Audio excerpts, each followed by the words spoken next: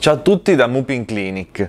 In questo video ripristineremo strutturalmente ma soprattutto esteticamente questo vecchio VIC-20 Commodore o meglio questo VC20 cioè la versione tedesca di, eh, del VIC-20 eh, sostanzialmente lo puliremo poi sistemeremo alcuni problemi eh, interni strutturali, cioè di tenuta di viti, come vedremo dentro, che non, non, riescono più a mantenere ferma e in sicurezza la scheda madre e completeremo eh, il processo con un intervento di retro bright, cioè eh, un, si tratta di un processo chimico che permette di ripristinare la tonalità originale del computer che come potete vedere nel caso di questo weekend è molto ingiallito con il tempo.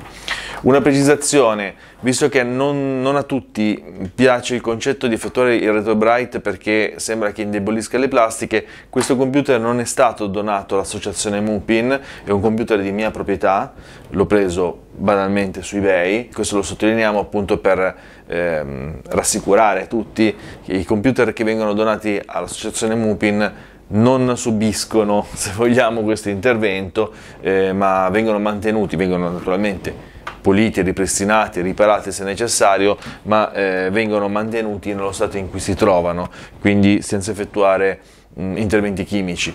Il Retrobright piace a molti, io sono tra quelli personalmente, infatti lo, lo effettuo su i miei computer, quelli della mia collezione, eh, ma non viene appunto effettuato sui computer donati, eh, proprio per evitare qualsiasi tipo di danno. Ora andiamo a vedere cosa, cosa faremo per ridare un aspetto, non dico da negozio appena comprato, ma molto vicino a quello con questo VIC-20. Allora, incominciamo a vedere le condizioni generali del, del computer. Come detto, a parte la sporcizia, ehm, è relativamente esternamente solido, anche se qua abbiamo un po' la scocca aperta e vediamo già qui, a parte i rumori di viti che sentiamo all'interno, eh, vediamo la scheda madre che è ehm, storta all'interno della, della scocca sostanzialmente eh, sul, sul, retro, sul, nella parte inferiore, eh, abbiamo per fortuna ancora le tre viti che tengono, eh, tengono la, la, la, scocca chiusa. E qua ci sono altre due viti che ho raccolto prima perché sennò sarebbero perse che sono quelle interne che adesso andiamo a vedere come mai non, non stanno più nel loro alloggiamento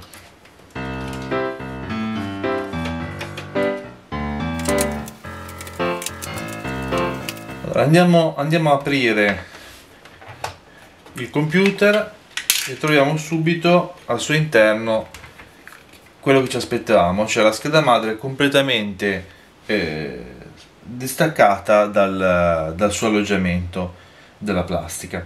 Allora andiamo a staccare la tastiera che mm, sostanzialmente lo stesso sistema in uso sul, sul Commodore 64, cioè questo connettore lungo che è sufficiente staccare e si rimuove senza problemi. Stesso discorso per il led di accensione. E la nostra tastiera è completamente staccata possiamo metterla qua da parte. E questa è la situazione che ci troviamo la scheda madre è eh, abbastanza in, in, buone condizioni, infatti abbiamo già verificato che è funzionante, soltanto che abbiamo queste viti che vanno avanti e indietro, eccola qua, un, un'ulteriore vite che si è staccata, mettiamo qua da parte e andrà insieme con, andrà insieme con le altre sue sorelle. A questo punto la scheda madre è tenuta insieme da una sola vite, che è questa, che tiene ancora, infatti anche questa vite che c'è in fondo eh, ormai è staccata, non è inservibile. E, um, andiamo a staccarla completamente in modo da capire meglio come risolvere il problema.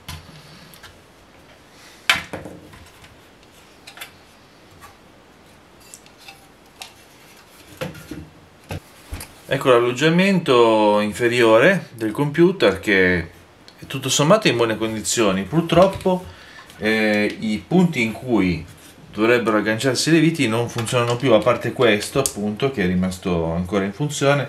Questo infatti è rotto è spaccato. Anche questo il secondo e eh, questo ultimo sembrerebbe quasi sano ma in realtà probabilmente non funziona comunque. Possiamo anche testarli questi. Allora i primi due non è, non è neanche il caso di, di provarli perché eh, uno e due sono, hanno un taglio qua sono completamente rotti. Vediamo il terzo qui se in qualche modo funziona. Sembrerebbe tenere questo quindi potrebbe essere papabile per essere ancora utilizzato. Già due, due funzionanti.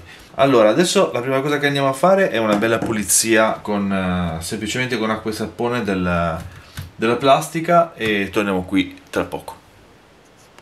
Allora rieccoci qua con la nostra plastica ripulita che adesso ha decisamente un altro aspetto molto migliore l'abbiamo pulita anche sopra e sotto eh, si presenta decisamente meglio. Purtroppo eh, ho appena provato a, eh, ad avvitare la scheda madre con i vari eh, punti a disposizione eh, per le viti e eh, vi confermo che sono praticamente tutti inservibili a, a parte i primi tre in sostanza che per il momento tengono ancora ferma la, la scheda. Quindi cosa andremo a fare? Andremo a utilizzare adesso una eh, resina epossidica, questa prodotta da Bostik, ce ne sono moltissime in commercio, è, un, uh, è bicomponente, quindi i due, i due fluidi si, si, mischiano nel momento in cui la vogliamo utilizzare, e, um, che è diciamo una specie di colla um, piuttosto morbida, eh, che può essere, um, può essere di aiuto in questi casi. Eh, andremo a riempire e in, in, qualche caso come in questo che è completamente rotto a metà a ricostruire per come potremo fare l'alloggiamento per la vite. Poi lasceremo asciugare e speriamo che le vite a quel punto riusciranno a pescare meglio eh, dal, dal, buco eh, un, avere un certo grip per riuscire a mantenere ferma la scheda madre appunto sfruttando i primi tre almeno sopra e alcuni di questi punti di aggancio eh, sperando appunto di eh, metterla di nuovo in sicurezza. Questo è il mio mini banco di lavoro sporchissimo per quando utilizzo la colla epossidica che lascia sempre per forza di cosa dei residui. Andiamo a aprire facciamo uscire i due bicomponenti come al solito ne esce, mi esce soltanto quello di sinistra non quello di destra infatti sono, sono già attrezzato per tappare quello di sinistra e facilitare l'uscita di quello di destra. Ecco qua. Andiamo a mischiare insieme adesso taglia, eh, chiudiamo subito il tubetto per evitare problemi. Andiamo a mischiare il tutto.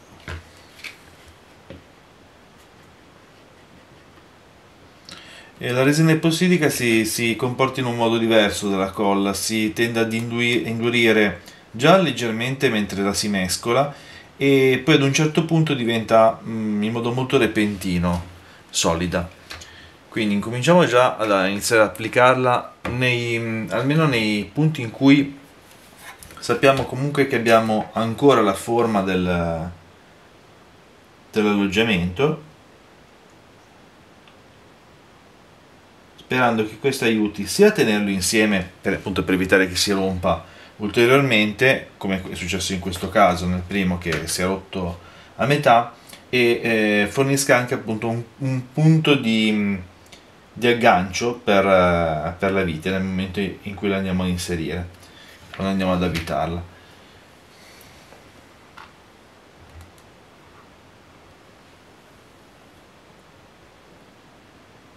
ci occupiamo prima di quelli che sono ancora in piedi diciamo di buchi che sono ancora completi eh, perché tra pochi attimi la resina comincia a diventare un po' più rigida un po' più densa e quindi ci potremo permettere di utilizzarla per ricostruire o tentare comunque almeno fare almeno un tentativo di ricostruzione di, di quello eh, completamente eh, rotto. Ok cerchiamo di fare una, un tentativo di ricostruzione. Adesso siamo un po' più sul denso quindi possiamo iniziare a cercare di chiudere. Fare una specie facciamo una specie di, di bolla esterna sperando che sia, diventi poi possibile in un certo senso bucarla per eh, farci scorrere la vite dentro. E, e quindi che rimanga, rimanga bloccata. Una volta che la resina sarà completamente eh, indurita. Ecco fatto. Adesso lasciamo qui eh, ad asciugare non, non, ci vuole molto tempo eh, circa una mezz'ora dovrebbe essere sufficiente per avere eh, la resina mm, parzialmente asciutta comunque già utilizzabile eh, con la sua, la sua forza meccanica nel frattempo ne approfittiamo per dare una spolverata alla scheda madre che non è poi messa malissimo, c'è uno stato normale di polvere eh, facile da rimuovere. Vi consiglio di utilizzare un pennello in questi casi perché con le schede elettroniche, come in questo caso, che hanno tante, tanti mm, punti in cui si può bloccare il, qualsiasi panno, con il pennello, se non è troppo impiastrato il tutto, si rimuove la polvere senza fare particolarmente fatica, senza incastrarsi in tutte le saldature. Andiamo a ripiazzare la scheda madre e proviamo ad avvitarla nuovamente sperando che il giochetto abbia funzionato. Partiamo da avvitare le viti, quelle più difficoltose, quelle che siamo andati a riparare, che abbiamo cercato almeno di riparare sperando che abbia funzionato appunto. E avvitiamo con eh, molta cura, più che altro con, senza sforzare troppo e senza andare troppo veloce. E sembra che avvitando, mm, vi posso dire che avvitando sembra che abbia quel, um, quel, quella forza di aggancio che prima mancava completamente. Quindi mi farebbe pensare che il sistema abbia funzionato. era messa relativamente bene, quindi mi aspetto che si avviti altrettanto bene, comunque meglio di prima, sì, sembra avvitarsi anche in questo caso bene, cioè arriva a fine corsa e si blocca, fa resistenza, tiene, sì, dovrebbe tenere. Infine la terza anzi non infine perché poi c'è ancora quella in alto a destra, ma questa era quella peggiore, quella di cui non rimaneva praticamente nulla del, del cerchietto di plastica che era rimasta a metà, quindi qua andiamo ad avvitare sul nulla praticamente, sul, semplicemente sulla resina che adesso è indurita, però sembra anche in questo caso tenere. Il tutto sembra piuttosto solido, andiamo a cercare, ecco, eh, chi avrebbe mai detto? si solleva e eh, regge sollevandolo direttamente dalla scheda madre. Ottimo. Posizioniamo anche le altre due viti, quelli non avevano problema. Tengono tranquillamente ancora. Vediamo se solleva. Sì, tutto sembra a posto. La nostra scheda madre adesso è di nuovo salda nel, nel suo case andiamo a fare la cosa più classica e più noiosa di questo tipo di ripristini. Ehm, stacchiamo tutti i tasti della tastiera e andiamo a pulirli. Normalmente faccio una, una fotografia della tastiera per poi poterla rimontare velocemente, in questo caso non ce n'è neanche bisogno perché il VIC-20 è talmente diffuso che basta eh, cercare un attimo su Google l'immagine di una qualsiasi tastiera come questa per poi eh, riuscire a rimettere tutti i tasti al loro posto.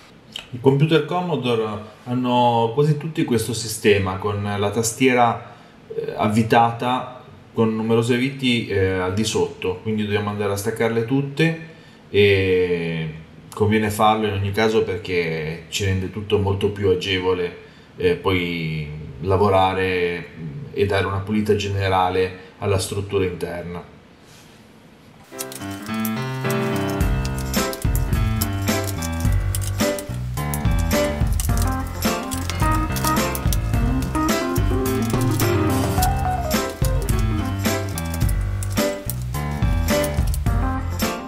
Volta rimosse tutte le viti, la tastiera viene via tranquillamente con la sua struttura, eccola qua, possiamo togliere di mezzo per ora la scocca superiore che poi riprenderemo più tardi. Siamo pronti a lavorarci. Ed ecco qua la nostra tastiera che è parecchio impolverata, quindi andiamo intanto un po' a tamponare con uno Swiffer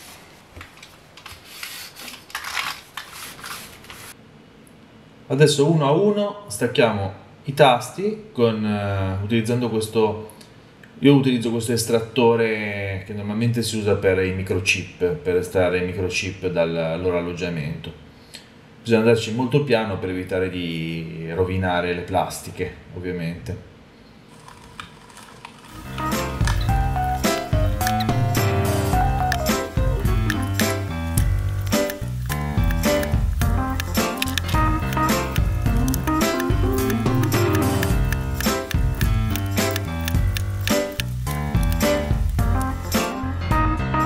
Stupisce sempre la quantità di polvere, ma poi si tratta anche di pezzettini di pelle morta che si stacca e rimane attaccata ai tasti e sotto di essi.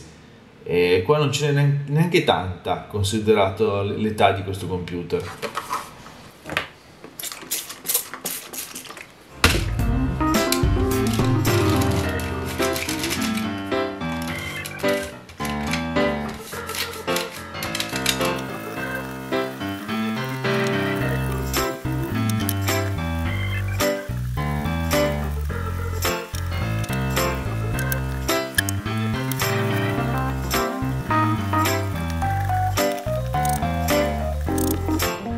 Risultato dà sempre una certa soddisfazione vedendo la differenza con come era prima.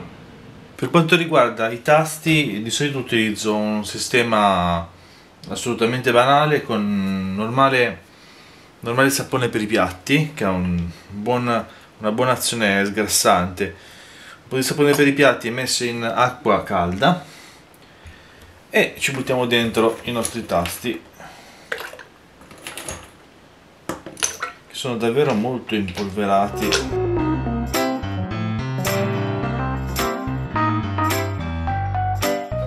Possiamo lasciarli qua qualche minuto in modo da far ammorbidire un po' eh, il grasso e far staccare la polvere. Adesso andiamo a fare quella che è veramente una delle cose più noiose in assoluto della pulizia di un qualsiasi computer dotato di tastiera quindi praticamente qualsiasi computer che era eh, la pulizia, potremmo dire ancora, e asciugatura finale dei tasti, che va fatta uno a uno purtroppo. Il tasto viene preso, viene un po' strofinato, viene un minimo asciugato almeno parzialmente ed eccolo qua ripetuto così per tutti i tasti del RIC 20 che per fortuna non ha il tastierino numerico qualche tasto in meno in questo caso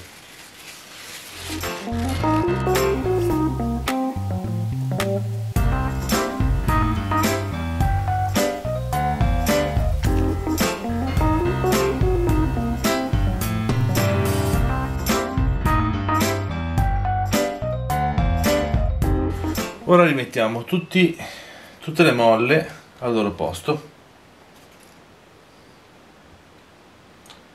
Sono tutte uguali, l'unica che fa eccezione è quella della barra spaziatrice, che è un po' più alta.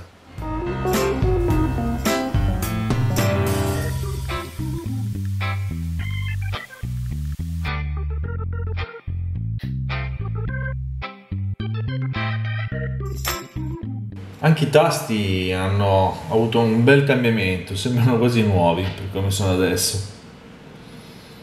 Li andiamo a riposizionare, è molto semplice, molto più facile che rispetto a staccarli. Basta premere e entrano nel loro alloggiamento in modo molto netto, quindi non c'è nessun problema da questo punto di vista.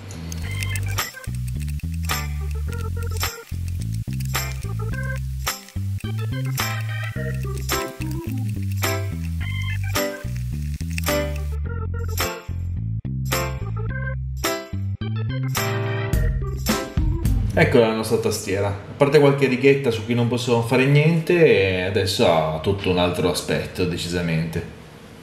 Ora ci rimane soltanto la parte dedicata a Retro Bright, cioè cerchiamo di far tornare bianche queste plastiche ingiallite, molto ingiallite. Vediamo cosa riusciremo a fare con un po' di chimica. La tecnica è quella classica, utilizziamo acqua ossigenata ad alta concentrazione al 12%, come si vede in tanti tutorial su internet. Abbiamo questa tanica da 5 litri, abbiamo questo contenitore, questo è un banale contenitore di plastica, eh, attorno al quale ho messo soltanto un po' di eh, carta d'alluminio per riflettere ulteriormente e sopra c'è questa pellicola per evitare troppa evaporazione del liquido durante la posa. Utilizzo poi due, questi due riflettori da 50 watt LED eh, a luce ultravioletta, sono molto potenti per eh, questo utilizzo. La tecnica è sempre quella, dicevamo, quella che si trova un po' dappertutto prendiamo eh, nostro, la nostra acqua ossigenata, la versiamo all'interno del contenitore integralmente, in questo caso sono 5 litri di acqua ossigenata al 12% e vi raccomando di indossare sempre una protezione soprattutto sugli occhi, quindi potete mettere tranquillamente degli occhiali se non li indossate già normalmente per evitare che qualche schizzo vi finisca negli occhi perché è molto pericolosa l'acqua ossigenata già normalmente e soprattutto questa che ha ad alta concentrazione. Ehm, quindi versiamo il tutto all'interno del, di questo contenitore. Eccola qua, qua è versata, eh, sembra poca ma sono comunque 5 litri, sembra poca perché il contenitore è abbastanza grande questa è la nostra scocca che ormai conosciamo molto bene e la andiamo ad immergere nel, nell'acqua ossigenata. Ecco fatto. Non copre completamente, io solitamente inserisco degli oggetti, in questo caso delle bottiglie d'acqua chiuse per fare un po' più di volume e far alzare i livelli. Poi con questo è il mio sistema un po' artigianale, piazzo questa questo appendino un po' allungato per fare da griglia per potermi dare l'appoggio per ehm, posizionare eh, al di sopra di, del tutto i due riflettori, i due illuminatori eh, a, lu- a, luce ultravioletta che dovranno rimanere lì per eh, diverse ore. Li mettiamo tranquillamente appoggiati così, eh, tanto il dissipatore questo, nel caso di questi riflettori si trova uh, dietro, quindi può tranquillamente eh, disperdere il calore generato. Calore che non è poi pochissimo pur essendo LED perché sono comunque LED a 50 watt. Infatti come vedete erogano anche parecchia luce infatti hanno una buona resa in, uh, per quanto riguarda il processo di retro bright in un numero relativamente limitato di ore.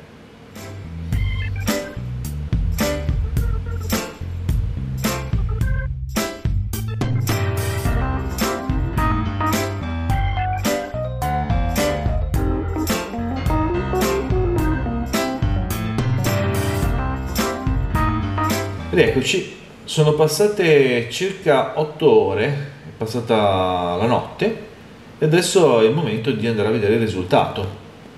Andiamo a spegnere finalmente le due luci e andiamo a, a rimuovere il tutto, quindi le togliamo di mezzo, le appoggiamo lateralmente perché poi ci serviranno di nuovo. Andiamo a scartare il tutto e già si può intuire, anche se qua la luce è un po' gialla anch'essa, che la situazione è già tutta un'altra rispetto a quella di ieri. Ecco qua. Adesso si capisce che il colore, come vedete, il colore all'interno che non è ingiallito corrisponde praticamente del tutto a quello esterno. Andiamo a vederla magari ad una luce un po' più naturale per capire meglio il risultato. Eccola qua, e beh, il, il, confronto con la parte inferiore è eloquente, c'è una, davvero una differenza notevole tra la parte ingiallita, ancora ingiallita, ancora da trattare, e quella che abbiamo appena estratto e sciacquato con un po' di acqua normalmente. C'è ancora, vedete, qualche piccolissima striatura, ma non andiamo a esagerare per evitare di rovinare troppo la plastica. Eh, da adesso siamo costretti a svitare, una cosa che avremmo dovuto fare con senno di poi l'avrei dovuto fare dopo la ricostruzione del, dei, degli alloggiamenti per le viti.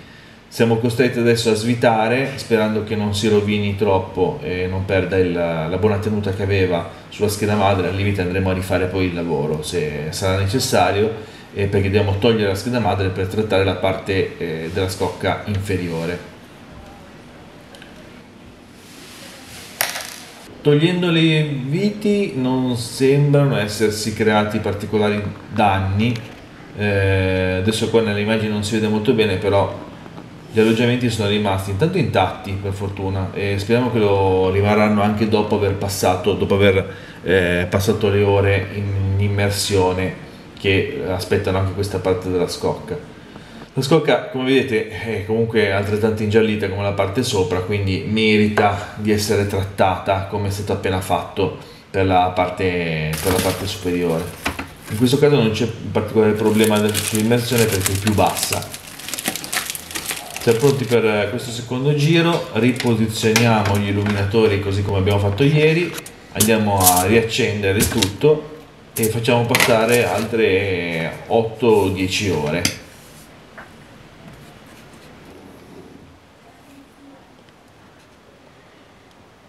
Ed ecco le passate. E andiamo a vedere se il risultato che abbiamo ottenuto è al pari di quello che abbiamo eh, avuto per la prima parte, per la scocca superiore. Qua avevo posizionato una bottiglia che in questo caso più che altro per tenere eh, bassa e immersa la, la scocca che tendeva un po' a galleggiare. Beh, sembra che sia quasi uscita meglio della parte superiore. Guardate, non, non mi sembra di vedere la minima striatura e in più tutte quelle, quelle tracce che avevamo prima sono completamente scomparse non c'è più un'ombra di ingiallimento. Il colore corrisponde. Adesso mm, abbiamo la prova che le due tonalità sono, sono paragonabili.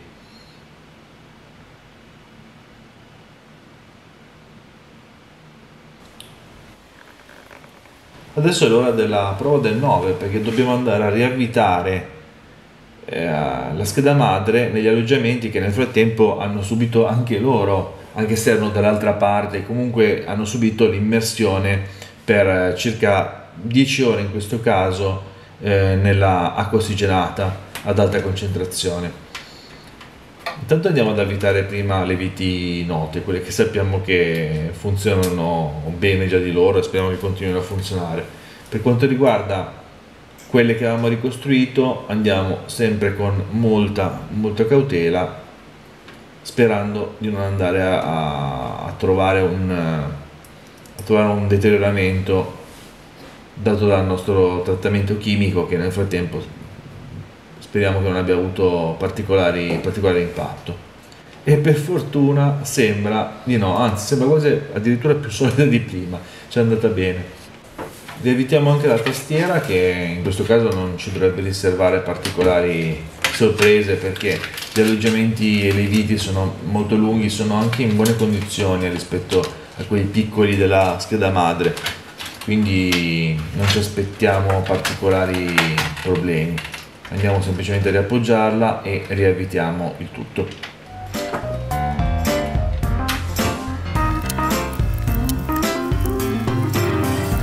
Ecco finalmente la tastiera riavvitata, adesso andiamo a riassemblare il tutto, ormai ci rimangono veramente poche cose da fare, abbiamo soltanto da eh, rimettere insieme le due parti, le due scocche, per fortuna ci sono solo due cavi da, da attaccare che sono uno il, il led di accensione che non mi ricordo mai da che parte si metta, sarà così, tanto non si rischia niente perché al massimo non si accende essendo un diodo il led, non si fanno danni e poi ricolleghiamo la tastiera anche in questo, in questo, caso non possiamo sbagliare perché si può inserire solo in un modo perché c'è un pezzettino di plastica in più nel, nell'altro senso che non ci permette di, di collegarla. Mm, no mi sa che è nell'altro verso. Scommettiamo su questo. Ecco fatto. Ancora tre viti da, da mettere qua sulla, sulla parte posteriore e abbiamo finito Le condizioni delle plastiche sembrano ancora eccellenti.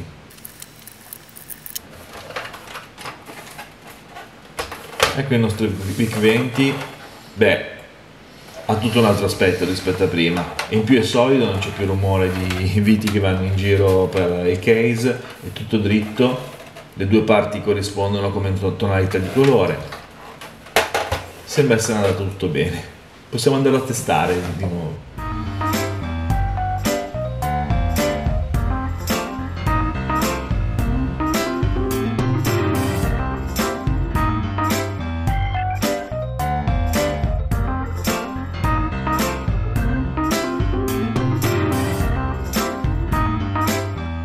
E vi avevo raccontato prima di iniziare il tutto che il, il computer funzionava, beh questa è la prova, scusate se si vede molto poco, eh, dato per via del refresh dello schermo, ma come vedete funzionava e funziona ancora per fortuna questo VIC-20, funziona senza nessun problema. Lo proviamo anche con una cartuccia, qui abbiamo Avenger che in realtà è sostanzialmente un eh, clone di Space Invaders proviamo per scrupolo a accendere e funziona anche lui, eccolo qua. Anche in questo caso non si vede molto bene, però si, si intuisce la schermata di Space Invaders che gira.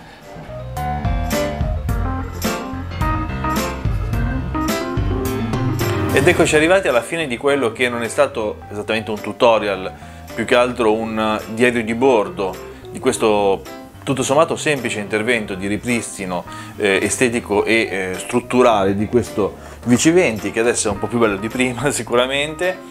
E a questo punto non posso fare altro che ringraziarvi per aver assistito al video e darvi appuntamento ai prossimi video che posteremo nel nostro canale di MUPIN, Museo Piemontese dell'Informatica. Quindi non dimenticatevi, se siete interessati, di iscrivervi al canale per sapere quando uh, usciranno, quando provvederemo a pubblicare i prossimi video.